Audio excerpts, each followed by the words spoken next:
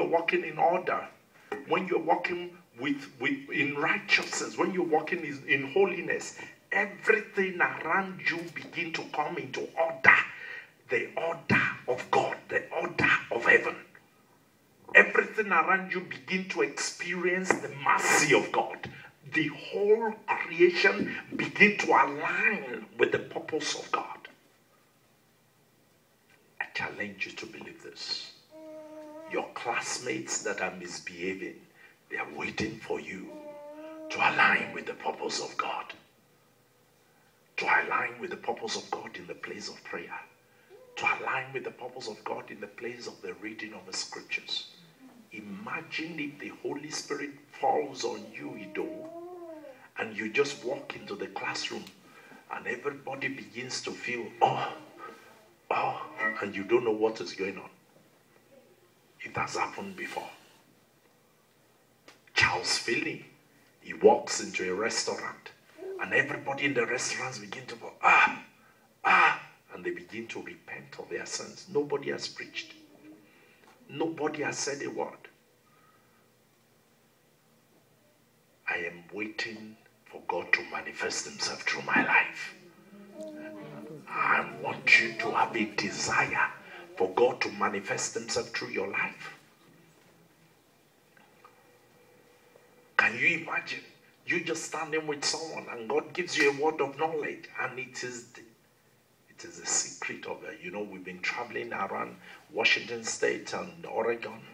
You know, we will get to we got to a place, and the Lord said to me, "Say to them, your sons and your daughters shall prophesy."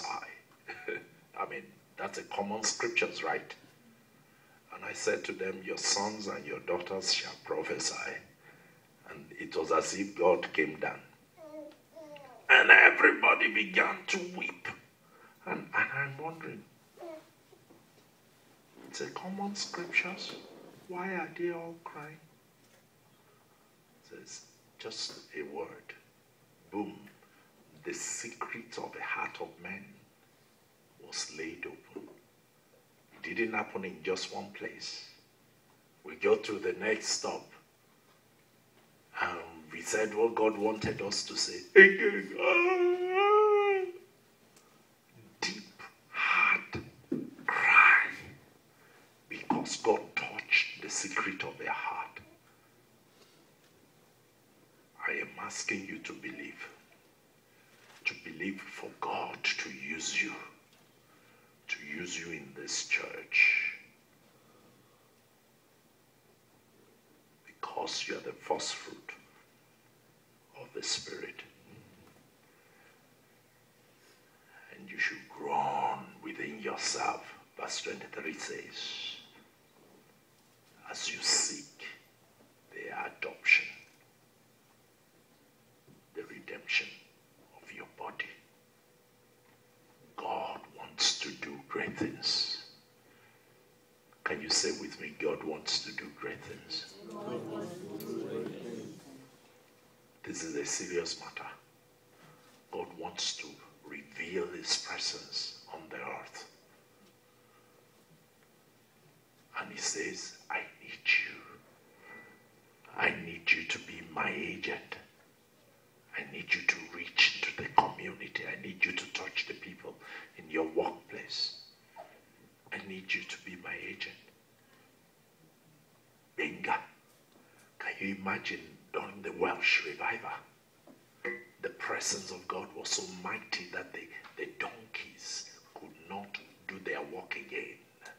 Because before then, the only way to get the donkeys to walk was by cursing them. They would curse them. They will curse them. You this, move. You that, move.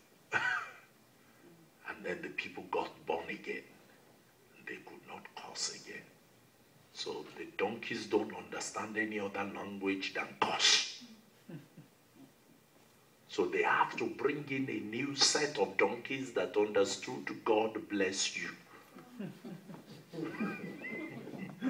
because the whole set of the former donkeys, all they understood was devil's language.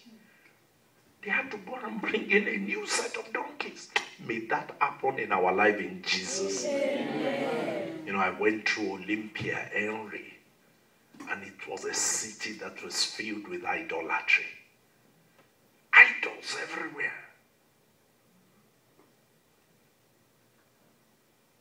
How I pray that what happens with Paul in Athens will happen with Henry in Olympia. Amen. And men will say, Tell us this story again. Tell us the story of God's redemption. Tell us the story of God's salvation. Tell us the story of God's deliverance. Tell us again. I wish what happens during the what happened during the Welsh revival will happen with Benga in the airport.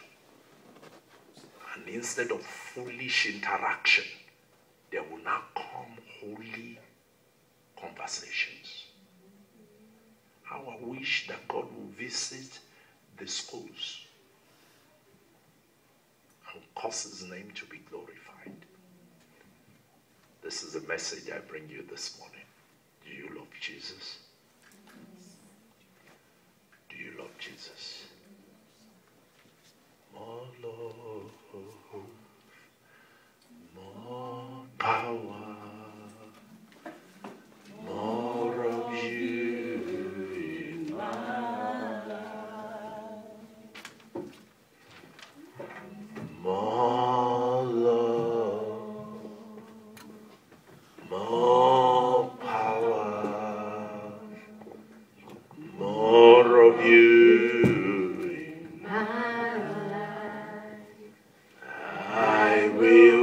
Worship you.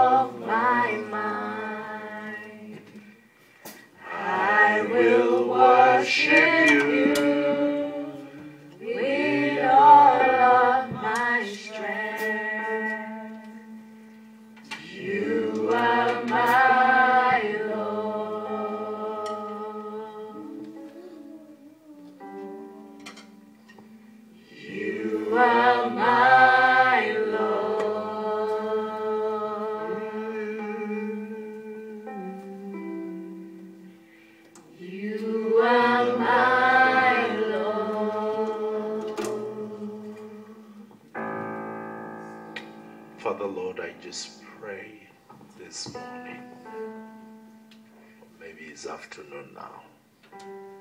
I pray for all of us that of a truth there will be the manifestation Amen.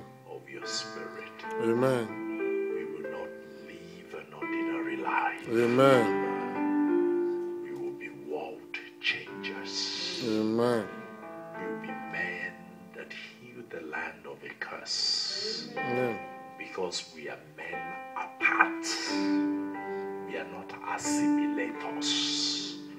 We are not compromisers. We are people who have chosen to be different. People who realize that we have a calling. We are called to be the sons of God in the midst of this adulterous generation. We thank you, Lord Jesus. Stir our heart. Stir it with passion. Let the dreams of your spirit let it arise again within our soul. Oh God, our cry